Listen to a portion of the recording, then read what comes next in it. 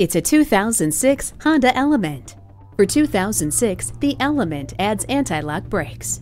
Other standard features include privacy glass, a tachometer, cruise control, tilt steering wheel, and a back seat that can be folded down or taken out with little effort for even more room.